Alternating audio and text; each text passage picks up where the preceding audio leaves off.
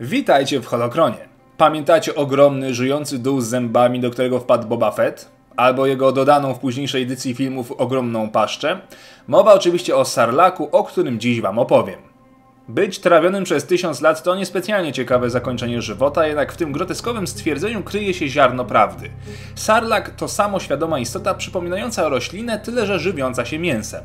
Pierwotne pochodzenie tego stworzenia nie jest znane, jednakże występuje na ośmiu planetach rozsianych po galaktyce.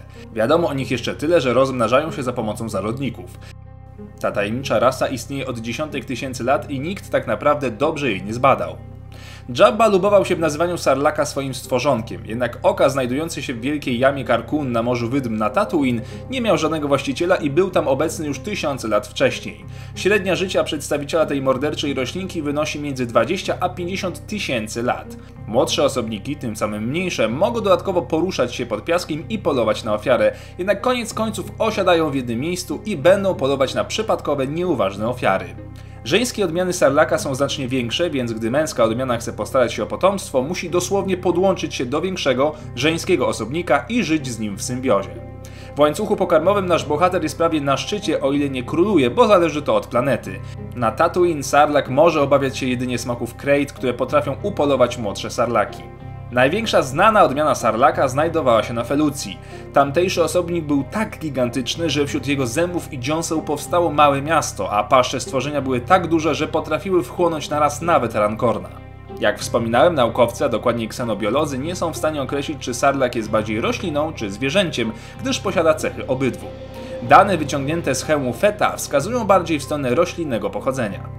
Sarlak doskonale adaptuje się do każdego środowiska. Jego główne ciało ze wszystkimi ważnymi organami znajduje się głęboko pod ziemią, na powierzchni zaś wystaje jedynie otwór z paszczą. Dodatkowo posiada zęby lekko zakrzywione w dół, co uniemożliwia ofiarze wydostanie się, nawet gdyby próbowała i nie dała się złapać licznym mackom, które wciągają nieszczęśnika do środka. Ciało sarlaka to także niespotykany nigdzie indziej twór natury. Większość ciała składa się z twardych płytek, natomiast na długości całego ciała znajduje się 8 przydawek, które pomagają istocie zakopać się w ziemi, gdyby ich ciało było za bardzo odsłonięte. Na samym końcu zaś znajdują się trzy korzenie absorbujące wilgoć.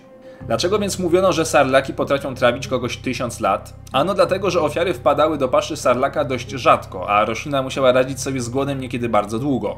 Wypracowała więc system bardzo powolnego trawienia ofiary. Do tego istnieją niepotwierdzone naukowo doniesienia, że sarlak potrafił telepatycznie docierać do swoich ofiar i przejmować ich myśli oraz wspomnienia. Ofiary miały być rzekomo związywane z wnętrznościami stworzenia, podtrzymywane na życiu i trawione nawet tysiąc lat. Jeżeli chcecie się dowiedzieć jeszcze więcej o sarlaku, odsyłam was do linków w opisie. Bardzo serdecznie dziękuję wam za oglądanie i niech moc będzie z wami.